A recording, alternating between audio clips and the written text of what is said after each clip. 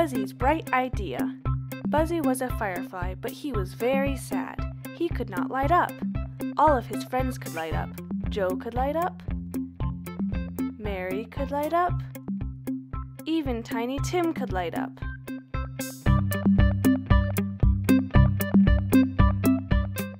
Buzzy asked them how they did it after trying.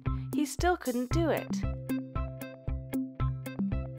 Mary told Buzzy to think of a happy thought and then he'd be able to light up. That's what I do. Buzzy thought of a happy thought and suddenly he lit up. Buzzy was so happy. Yay! The end.